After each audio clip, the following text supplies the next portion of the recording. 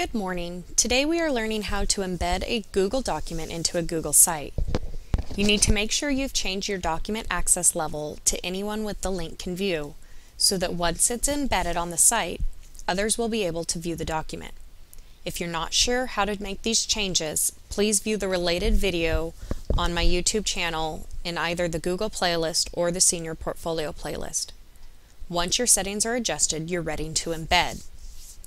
To start, you'll need to be logged into your Google site.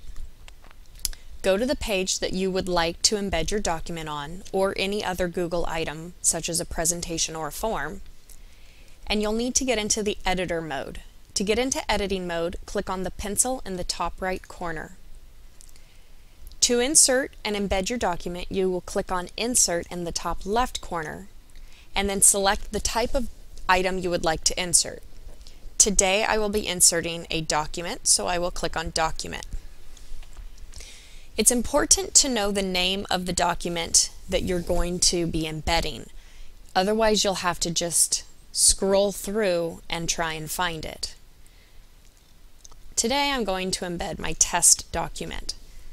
Click on, once you've selected and located your document, click on the checkbox next to it, next to it and then click the blue Select button.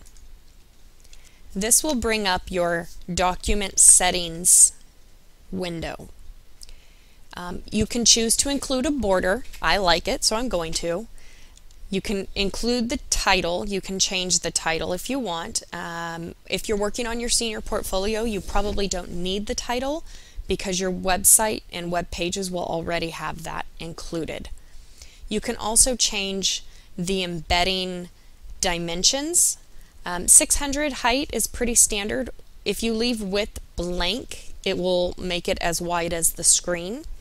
Um, so I'm going to go ahead and put 400 just so we can see what that looks like.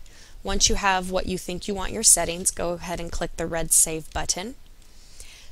Right now it looks like it didn't work, but it did. Don't worry. Okay, it shows up when you're in editor as this gray box. But if you click the Save button in the top right corner, it will take you out of editor and you'll see what it looks like. Okay, so I'm looking here and um, I probably don't need it this big. Um, maybe I want it taller but not as wide. So I want to change my document settings. To do that, I'll need to get back into editing mode.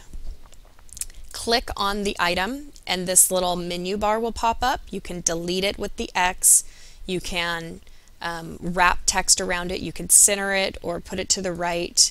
I'm going to get back into the properties and I'm going to change my height to 600 and then my width to um, 400 and let's see how that looks.